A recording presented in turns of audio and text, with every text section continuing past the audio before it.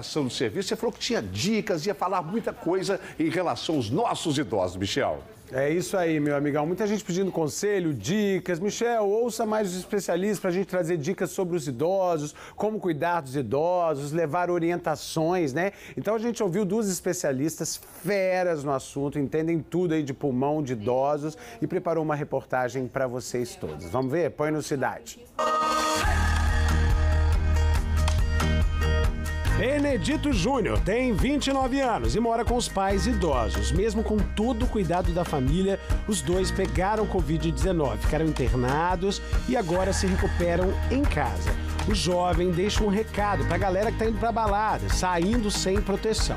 Zelo, cuidado e cuidado com as fake news e ter atenção redobrada ao sair da sua casa para se deslocar a algum local de trabalho ou qualquer outro a fazer e aguardar a sua vez de ser vacinado, que vai chegar a hora.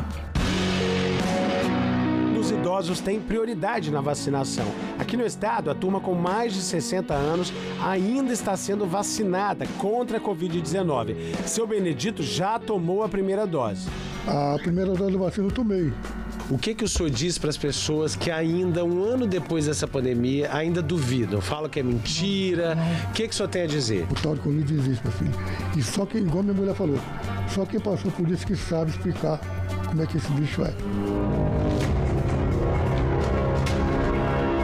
Pneumologista reforça, a vacina já mostra bons resultados na faixa etária com mais de 60 anos.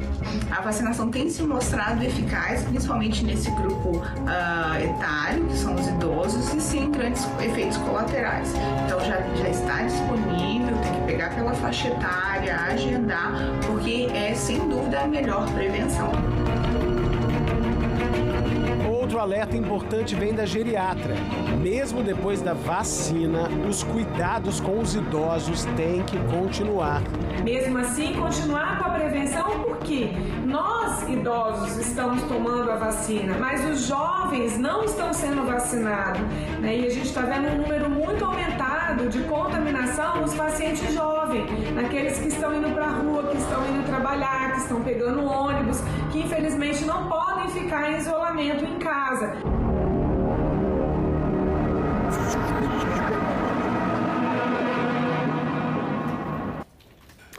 que eu estava pensando aqui agora, gente? Vocês imaginem o remorso que deve dar numa pessoa, num filho, num neto, né?